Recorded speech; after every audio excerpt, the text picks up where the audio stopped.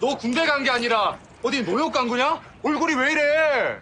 저는 속셈 떠나신 줄 알았잖아요. 선크림이라는 문물이 있는데요. 물론 형님 입대 전에도 있었습니다만 저 이제 뭐 먹을까요, 이제? 야, 얘들아, 돈 많이 썼다. 우리 소주 사가지고 학교 들어가자! 날 좋다!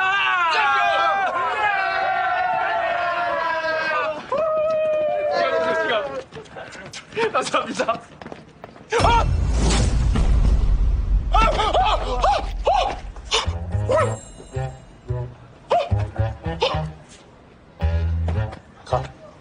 니, 그 손을 적당히 푸셔야지 그걸 깜짝 놀라게. 아, 죄송합니다. 죄송합니다.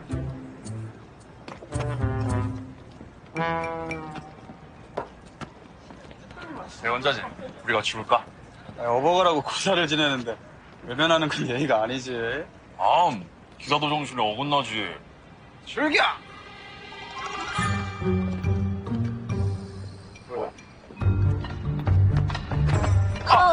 어, 어, 전- 괜찮아요? 아, 전 못해. 죄송해요. 괜찮아요? 혼자예요? 이름은? 어, 저 혼자예요.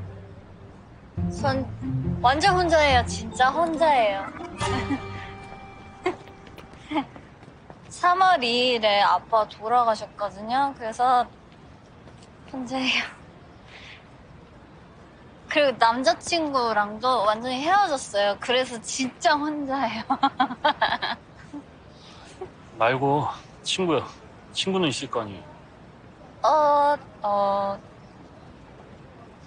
친구는 샤랄랄라 샤랄랄라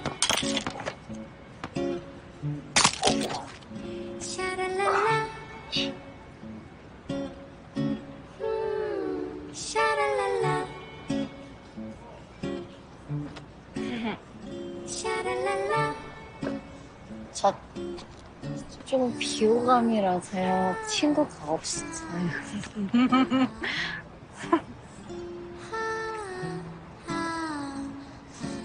술 냄새나.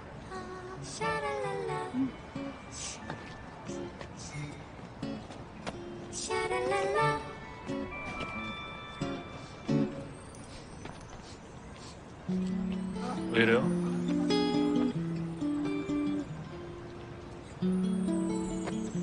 맛있겠다.